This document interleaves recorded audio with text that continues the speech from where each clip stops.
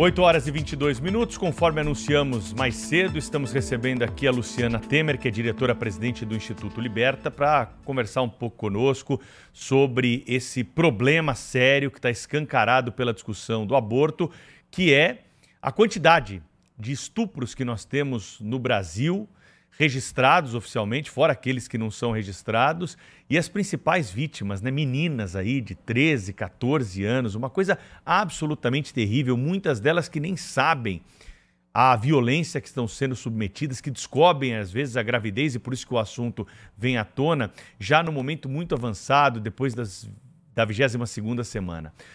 Luciana, eu destaquei aqui no começo que parece que o país está doente em não parar para refletir sobre isso, que é muito mais importante do que essa questão do aborto. Afinal de contas, se nós conseguirmos né, ultrapassar essa barreira, derrubar esses números de uma forma drástica, não há mais sentido em ficar discutindo outras questões, porque elas serão superadas e nós estaremos, claro, é, preservando traumas, integridade física e, claro, é, a dignidade sexual dessas meninas.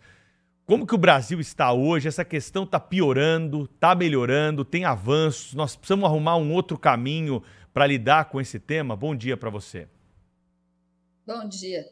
É, bom, primeiro, obrigado pelo convite para falar desse tema que é tão importante, né? É, o Instituto Liberta ele vem dizendo que nós temos que parar o Brasil para olhar isso que é a violência sexual infantil. A gente precisa falar sobre isso muito seriamente. Né? Veja só, a gente não está defendendo que crianças tenham direito ao aborto. A gente está defendendo que crianças não sejam estupradas. Esse é o primeiro ponto. Mas já que nós somos uma sociedade que não tem conseguido proteger essas meninas, e aqui vamos dar um número, né? O número que o Fórum Brasileiro de Segurança Pública levantou de boletins de ocorrência só no primeiro semestre de 2023. No primeiro semestre de 2023, foram registrados 34 mil casos de estupro, sendo que 74,5% são estupros de vulneráveis, na sua imensa maioria crianças menores de 13 anos. A maioria dessas crianças, meninas. Então, vamos lá, estudar uma média de seis meninas estupradas por hora no país.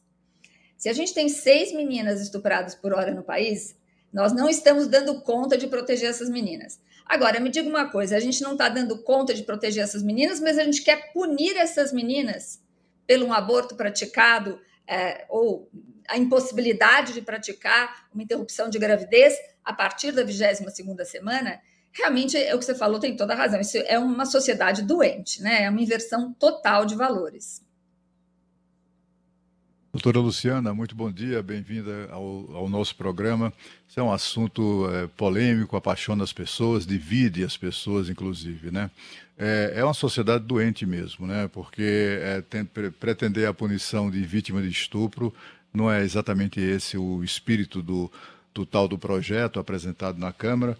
O projeto é, pretende é, impedir ou proibir, é, criminalizar mesmo, ou tornar absolutamente punível, equiparando esse crime ao de homicídio, de abortos a partir da 22 segunda semana.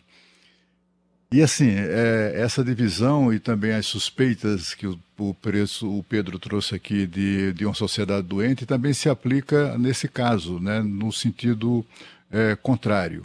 Porque eu não vejo ninguém se lembrando é, de que um bebê na barriga da, da mãe com cinco meses e meio já está viável, né, para usar uma expressão técnica.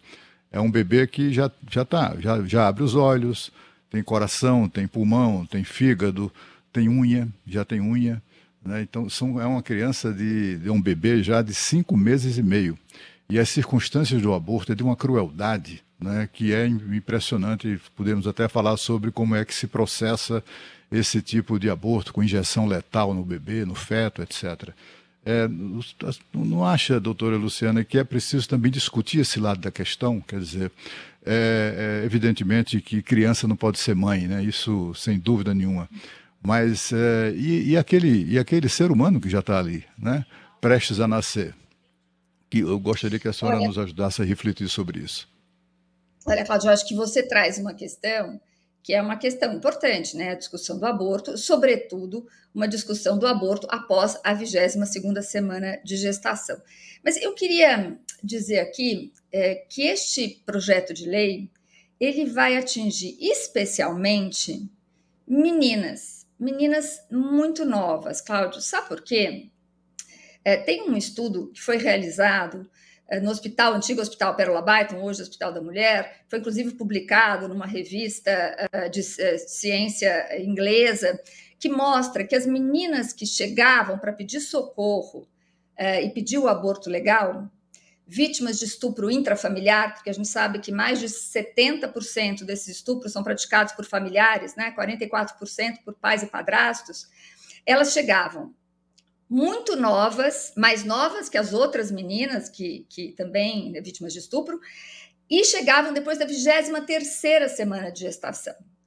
É, quando a gente olha para este contexto da violência, que é intrafamiliar, que são pais e padrastos, a gente consegue entender, Cláudio, por que, que essas meninas, muitas são tão pequenas que nem entendem o que está acontecendo, não podem nem imaginar que estão grávidas, vão descobrir isso lá na frente, quando a barriga começa a aparecer, ou uma situação em que elas são silenciadas e oprimidas dentro de casa. Então, eu diria para você que boa parte dessas gravidezes de estupro intrafamiliar nem chega para pedir o aborto. Agora, as meninas que conseguem chegar, veja só, é, a vida do bebê é muito importante, toda a vida é importante.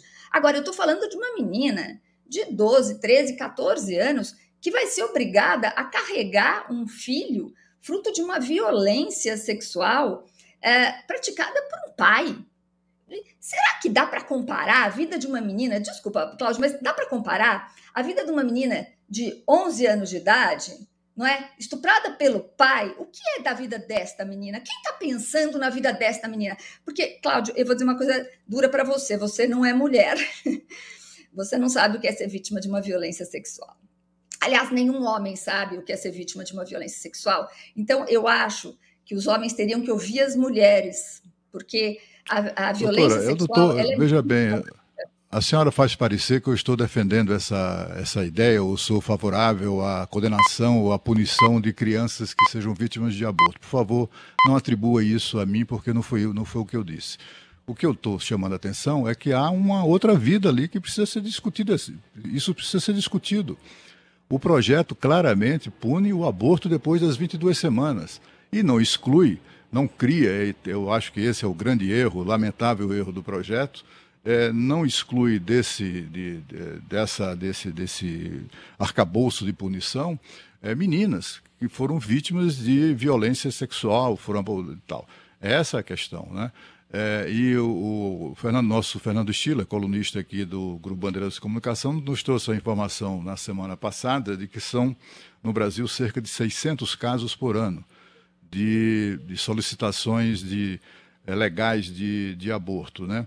É, faz parecer, pode parecer que é pouco, mas são 600, 600 vidas de, de pessoas que foram vítimas de, de violência e isso, é, de fato, é inaceitável, né? que elas sejam obrigadas a, a, carregar, como a senhora diz ali, o produto do estupro, que é o bebê. Mas a questão de essa discussão sobre o que é que vale mais, se é a vida da menina que foi estuprada, que está grávida, que é um drama que não, não se pode não se pode fazer, não há termos de comparação, né? não dá nem para imaginar como é que é essa, essa situação, mas também tem ali uma vida, né? tem uma vida, um menino, um, um bebê é, já prestes a nascer, pronto para nascer. Né? Aliás, se nascer aos 20, aos 20, na 22 segunda, 23 terceira semana de, de gestação, tem grande chance de, de sobreviver, né, hoje em dia. Então, essa é, eu, eu, eu, tenho a impressão que o caráter doentio dessa discussão é que só, só leva em conta o drama da mãe. Tá certo, tem que levar em conta mesmo.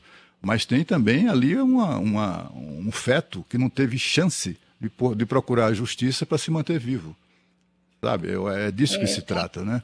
É cruel, é claro que é cruel é, a questão, a situação da criança, mas o bebê lá está na, na fase intrauterina, recebeu uma injeção no coração e ser morto e depois ser esquartejado para ser retirado do, do ventre da mãe, de fato é, um, é algo que precisa ser discutido. Alguém precisa refletir sobre isso. Né? Faz parecer que o projeto foi foi criado, e é só ler o projeto. Aliás, teve um projeto bateu todos os recordes de acesso na, na Câmara em dois dias, 3 milhões e meio de pessoas leram esse projeto e essas pessoas é, certamente estão mais bem informadas sobre ele. E, e, é que é importante isso, né? Mas é um, é o, o, projeto não é um projeto destinado a punir vítimas de aborto. Isso é, uma, isso é um aproveitamento oportunista, político oportunista é, dessa discussão toda, né? O projeto, como é, tem esse, essa lacuna in, intolerável, inexplicável, inaceitável, é, de, que abre brecha para a punição de vítimas de, de estupro. E isso não pode ser, não, não é tolerado. Mas a questão fundamental não é essa. É a briga pelo é a briga contra o aborto, a banalização do aborto depois das 22 semanas de gravidez. É, o Cláudio, eu, eu vou dizer uma coisa para você. Eu acho que a gente pode discutir, então, a parte do projeto que fala do aborto após a 22ª semana de gestação. Aí tem a questão da pena, do homicídio, do estupro. Acho que eu não queria entrar nesta questão. Mas você diz, o projeto de lei não tem a intenção de punir as vítimas, mas ela pune. Ela não tem a intenção de punir as vítimas, mas são as vítimas que ela vai punir. Até porque eu estou levantando a questão das crianças, crianças que chegam para fazer este aborto de forma tardia, seria o ideal que elas não fossem estupradas, seria ideal que elas chegassem antes da 22ª semana, mas a verdade é que a realidade não é esta, elas são estupradas e chegam depois da 22ª semana. Mas eu queria dizer das mulheres também, Cláudia, porque nós somos um país que apesar do aborto ser legal, ele não consegue ser concretizado, este direito não consegue ser concretizado por mulheres nem meninas que chegam e fazem via crucis nos hospitais, porque os hospitais se negam a fazer um procedimento que é garantido legalmente. E eu estou falando de antes da 22ª de gestação, semana de gestação. Então, muitas mulheres chegam desesperadas também à 22ª semana de gestação, quando já estão tentando buscar ajuda. Eu estou falando de mulheres do Brasil inteiro. Então, se a gente vai cumprir a lei, se a gente vai discutir que não pode a partir da 22ª semana, a primeira discussão que a gente tem que fazer é como é que a gente faz cumprir uma lei que já existe e que protege mulheres e meninas vítimas de violência sexual. Porque esta lei que existe, Humberto, não está sendo cumprida. Não é? Então vamos discutir esta lei primeiro e depois a gente vai discutir então o que, que a gente faz a partir da 22 segunda semana de gestação. E eu quero dizer que o meu discurso aqui está circunscrito às vítimas de violência sexual. É, Luciana, um grande prazer tê-la conosco no Jornal Gente. Eu trouxe agora há pouco os números da Europa, né, é, na questão de, da liberação do aborto e também nessa questão do estupro. O que a gente percebe é que desde muito cedo existe nas escolas uma educação sexual em primeiro lugar, existe um assistente social e existem números à disposição da vítima para que, mesmo vítima de abuso em casa, ela possa ligar e ela ter toda a proteção aí do Estado. Isso acontece aqui na Europa. Aí depois, como disse você, é discutida a questão do aborto. Eu fiquei assim, boquiaberta, quando você deu esse número de seis estupros por hora no Brasil de meninas. Isso é um verdadeiro absurdo. Então eu queria conversar com você, Luciana, se, a gente, se você não acha é, que as discussões políticas elas estão muito nas, na pauta de costumes e menos na de saúde pública. Por que no Brasil é tão difícil implantar políticas onde o estuprador fica na cadeia e uma gravidez é, na adolescência, uma gravidez na infância, muitas vezes as meninas estão menstruando mais cedo, ela seja evitada?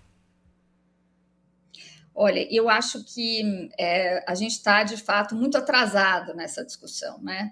A primeira questão é que ainda se acha que a gente está falando, de, quando a gente fala de estupro, a gente fala de mulheres adultas. Então, a primeira coisa que a gente precisa enxergar como sociedade é que quando a gente fala de estupro no Brasil, a gente fala de menores de 13 anos. Né? O dado que eu dei agora do Fórum Brasileiro, 74,5% dos estupros registrados. Então, é, é essa cabeça que a gente tem que ter para fazer o diagnóstico correto, encontrar a solução correta para esta violência. Depois é isso que você falou, quer dizer, são seis meninas estupradas por hora, né? Como é que a gente não não está levando essa discussão muito, muito a sério? Porque não é só sobre a violência contra a criança. A gente está falando de consequências sociais desta violência. Veja, mesmo com esta, ainda com o SPL não aprovado, nós temos no Brasil, um outro dado importante, são duas meninas menores de 14 anos dando à luz por hora no país o dado é este: nós temos sem proibição, sem nada, duas meninas por hora de menos de 14 anos dão à luz uh, no Brasil. Isso, é, isso tudo que nós temos registro grave. nesse Brasilzão.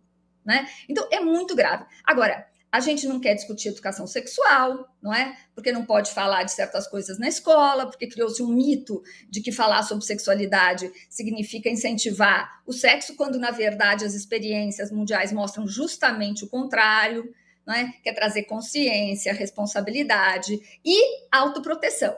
Então, a gente não quer discutir isso. Né? A gente não quer discutir, a gente não consegue discutir políticas públicas de atendimento para essas vítimas. Por exemplo, o Sistema Único de Saúde não tem um psicólogo é, preparado para atender uma criança vítima de violência. Veja só do que, que a gente está falando.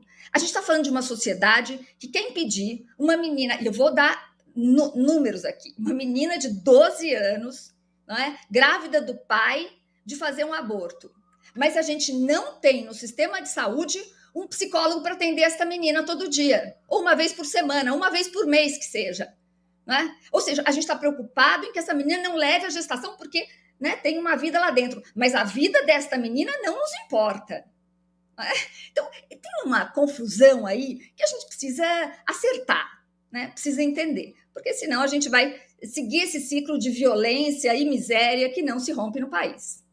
A gente está ouvindo aqui ao vivo no Jornal Gente a Luciana Temer, diretora-presidente do Instituto Liberta. Luciana, agora há pouquinho você falou que hoje o Brasil tem uma grande dificuldade de fazer cumprir a lei que já existe. O aborto é legal no Brasil em três casos: risco de saúde da mãe, é, gravidez por estupro ou feto anencéfalo.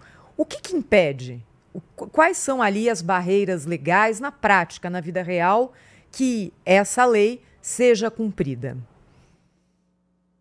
Olha, isto é uma, uma loucura. Né? Você sabe que o Liberta até ele está como amicus curi de uma ADPF, uma Atribuição de Descumprimento de Preceito Fundamental no Supremo Tribunal Federal, a 989, que, que, é, que é formada, na verdade, por várias organizações, é, que discute o, o embaraço do, do aborto legal no Brasil, que se dá menos por legislação. É verdade que há, há, dois anos nós tivemos uma portaria do Ministério da Saúde que tra trazia vários entraves a, esta, a este aborto legal, mas na verdade tem uma, uma lógica muito perversa. Nós assistimos também há pouco tempo juiz, uma juíza uma promotora tentando impedir uma menina que tinha direito ao aborto legal de fazer o aborto. Nós vimos aquela, aquele caso da menina do Espírito Santo que chegou para fazer o aborto é, e, e, não conseguiu fazer, né? ainda teve movimentos sociais para impedir essa menina de fazer o aborto. Então, é, nós temos que olhar, este, este impedimento ele não está exatamente na lei, né? ele está nas práticas, nas práticas das políticas públicas. Você chega a um hospital. Quais são os hospitais no Brasil que fazem o aborto legal? Né? Quais são esses hospitais? Onde é que eles estão? Aqui tinha o Nova Cachoeirinha, em São Paulo. O Nova Cachoeirinha não faz mais. Né? Quer dizer, eu, tô falando, não tô falando de uma mulher que tem dinheiro para pegar, uma menina que tem dinheiro para pegar, ah, então eu vou viajar, vou achar um hospital. Não, gente, a gente está falando de gente que não tem dinheiro para pegar ônibus, né? E tem que fazer via crucis para tentar um aborto legal antes da 22 segunda semana. Desculpa, isto, isto é uma insanidade. Isso que nós estamos fazendo é uma loucura. E pior ainda, né, Luciana? Porque a gente mostrou um desses casos aí em que a juíza tentava convencer a menina a seguir com a gestação, o contrariando o próprio texto legal pelas convicções particulares que tinha naquele caso. Para encerrar a entrevista aqui, que a gente está em cima do horário, mas foi muito bom te ouvir, é o seguinte: qual o caminho daqui para frente? O que, que a gente tem que fazer para superar esse dado né, macabro, terrível? de meninas violentadas, de meninas com menos de 14 anos que dão à luz. Qual é o caminho? É só educação sexual na escola? As famílias têm que discutir isso com essas meninas, essas crianças? Qual é o caminho, Luciana? Olha, Pedro, eu acho que o primeiro caminho que o Liberta defende, o Brasil tem que falar de violência sexual infantil e falar com propriedade, entendendo esta violência. É a primeira coisa. Isso que a gente está fazendo aqui é muito importante.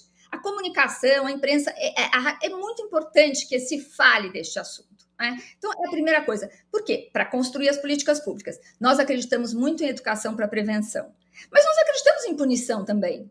Não é? A gente acredita em punição, a gente acha que é emblemático, você tem que punir os abusadores, mas nós não queremos ser um país campeão de prisão de abusadores. Nós queremos ser um país onde este abuso, este estupro não aconteça. Como é que a gente impede que este abuso aconteça? A gente tem que enxergar esta violência que é intrafamiliar, tem que trabalhar com educação e discutir isto, tirar este assunto de debaixo do tapete né, e começar a enfrentar e construir caminhos juntos, Pedro. A gente acredita muito em educação, mas tem outros caminhos possíveis e a gente tem que pensar como sociedade. É como sociedade que a gente constrói as soluções corretas. Luciana